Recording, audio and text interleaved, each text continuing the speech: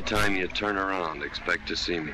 Late actor John Wayne was best known for starring in more than 150 films during his 50 year career span in Hollywood, playing a macho man in westerns and war movies.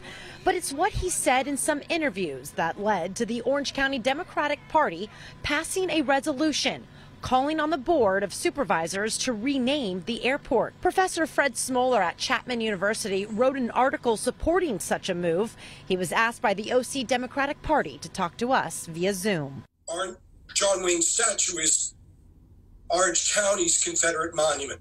And the same way that those monuments are coming down across the nation, I believe his monument should be removed and the airport returned to its original name, which it had for 41 years, the Orange County Airport. The remarks made by the late actor leading to this discussion was in an interview with Playboy back in 1971. John Wayne was quoted as saying, I believe in white supremacy, and I don't feel guilty about the fact that five or ten generations ago, these people were slaves.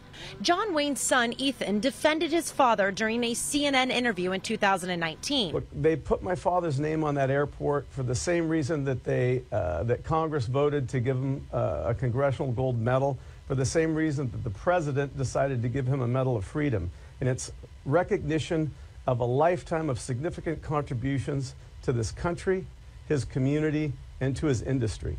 Some Orange County residents were mixed about renaming their airport.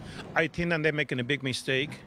John Wayne is being and will always be a celebrity. So taking his name from something that is history and a lot of, a lot of memories from a person that did a lot for this country is not fair. This this country's been built off of racism, and you know we have a problem with that. So, obviously, I think it's just one of those things where if we can come to the table and reset how people are. This isn't the first time that this discussion has been brought up, as John Wayne's remarks have resurfaced over the years.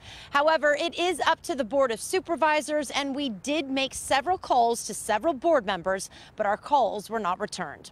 At John Wayne Airport, I'm Brittney Hopper, KCAL 9 News.